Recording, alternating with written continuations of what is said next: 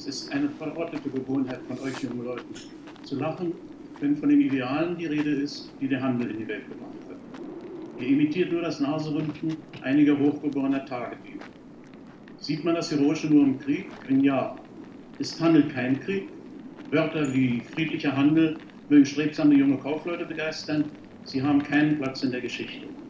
Der Handel ist nie friedlich. Grenzen, welche die Waren nicht überschreiten können, werden von den Heeren überschritten. Zum Handwerkzeug des Wollspinners gehört nicht nur der Webstuhl, sondern auch das Katapult. Und darüber hinaus hat der Handel noch seinen eigenen Krieg. Einen unblutigen Krieg, ja, aber nichtsdestoweniger einen tödlichen, meine ich. Der Hunger nach Brot tötet, die es haben und die es nicht haben.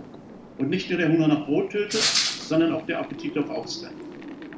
Trotzdem ist es richtig zu sagen, dass der Handel einen gewissen humanen Zug in die menschlichen Beziehungen brachte.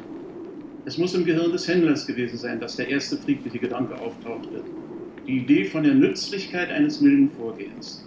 Sie verstehen, die Idee, dass man sich eben auf unblutigem Wege größere Vorteile verschaffen könnte als auf blutigen.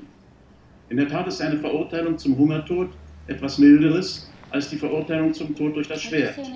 Wie auch das Los einer Milchkuh ein freundlicheres ist als das eines Mastschweins.